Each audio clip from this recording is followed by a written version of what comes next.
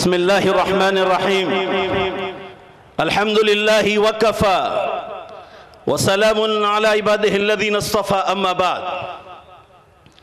قال الله تعالى أعوذ بالله من الشيطان الرجيم بسم الله الرحمن الرحيم ادفع بالتي هي أحسن فإذا الذي بينك وبينه عداوة كأنه ولي حميم وقال النبي صلى الله عليه وسلم، الخلق عيال الله. صدق الله العظيم. وصدق رسوله النبي الأمي الكريم. ونحن على ذلك لمن الشاهدين والشاكرين. والحمد لله رب العالمين. جمعیت علماء ہند کے صدر، محدث کبیر، مدنی خاندان کے چشم و چراغ حضرت مولانا سید ارشد مدنی صاحب مد اللہ ذلکم۔ اور اسی کے ساتھ ساتھ جمعیت کے اور اراکین۔ اور اسی کے ساتھ ساتھ سیاسی اور غیر سیاسی بزرگان اور تمام مسلمان بھائی اور ہندو بھائی۔ اور دیگر مذاہب کے ہمارے ہندوستان واسی لوگ۔ قومی ایکتا کے پلیٹ فارم پر چند منٹ بولنے کا موقع دیا گیا ہے۔ ایک چھوٹے سے اسلامی سکولر کے حساب سے میں قرآن، پوتر قرآن اور اسلام کے پیغمبر کی پوتر سچناؤں سے قومی ایکتا کی تعریف کرتا ہوں۔ اور آپ تمام مسلمان اور ہندو بھائی جو آج اس جمعیت علماء ہند کے اجلاس میں احمد آباد ریور فرنٹ پر آپ کا ہندوستان کی محبت میں، جمعیت کی محبت میں اور بھارت دیش کی محبت میں اور قومی ایکتا کی محبت میں آپ کا ٹھاٹھے مارتا ہوا یہ سمندر دیکھ کر شاعر کا مجھے یہ شعر یاد آتا ہے۔ شاعر کا یہ شعر یاد آتا ہے اور اسی شعر سے میں آپ کا استقبال کرتا ہوں۔ میں اسی شعر سے آپ کا استقبال کرتا ہوں۔ بتلا دو بتلا دو ان جاہل انسانوں کو۔ غیرت مسلم زندہ ہے۔ بتلا دو ان جاہل انسانوں کو۔ غیرت مسلم زندہ ہے۔ دین پر مر مٹنے کا جذبہ کل بھی تھا اور آج بھی ہے۔ نعرہ تکبیر۔ نعرہ تکبیر۔ جمعیت علماء ہند، ہندوستان ہندوستان ہندوستان۔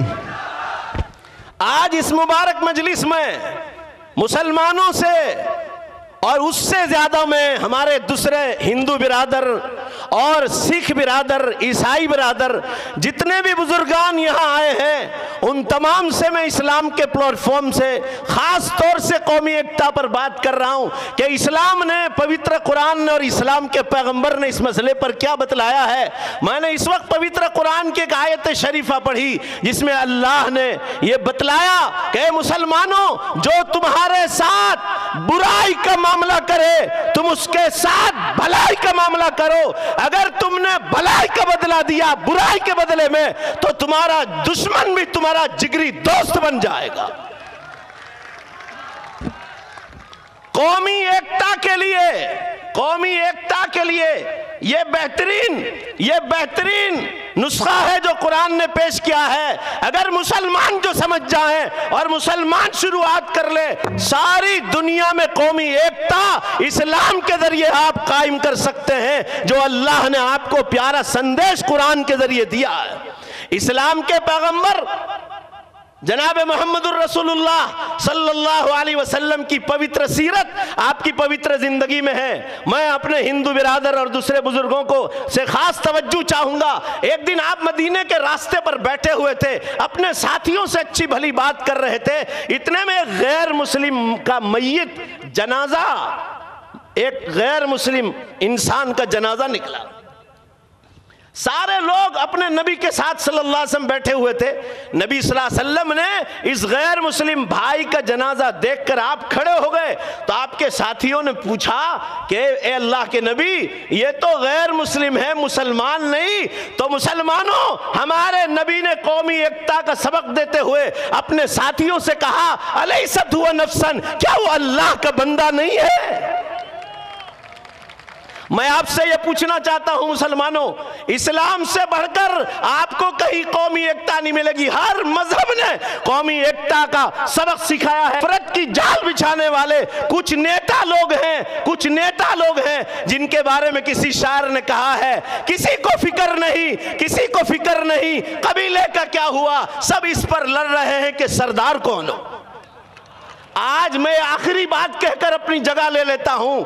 لوگ آج نفرت کی فضائیں ہندو، مسلم میں، سکھوں میں، عیسائیوں میں، دلتوں میں آپس میں پھیلانا چاہتے ہیں۔ میں نے ہندوستان کا جتنا اتہاس پڑھا ہے، یاد رکھو مسلمانوں، شاید عیسائیوں میں اور یہودیوں میں اتنی محبت نہیں جتنا آج ہندوستان میں، ہندو اور مسلمانوں میں محبت۔ ہے اسلام اسلام نہیں، دنیا کی تاریخ گواہ ہے۔ میں آپ سے یہ کہنا چاہتا ہوں، یہی اسلام ہے جس نے مسلمانوں کی یہ تعلیم دی ہے۔ ذرا دھیان چاہوں گا اپنے غیر مسلم بھائیوں کا۔ اسلام کے پیغمبر کی ترجمان ایک شاعر نے کی ہے، اللہ کو اللہ کو اللہ کو پسند نہیں۔ سختی زبان میں، اسی لیے تو نہیں رکھی بھلا ہڈی زبان میں۔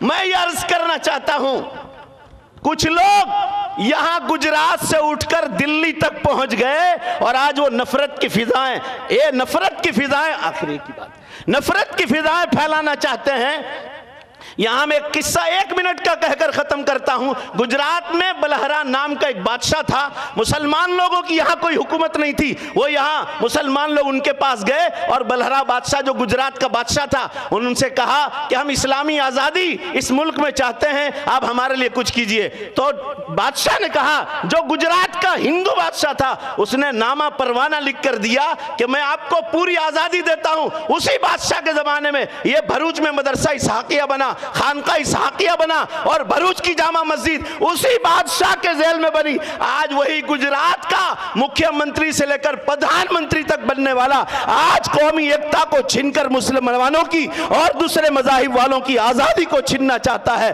برباد گلستہ کرنے میں، برباد گلستہ کرنے میں ایک الو کافی ہے۔ یا بی جے پی میں ہر شاخ پہ الو بیٹھا ہے، انجام گلستہ کیا ہوگا؟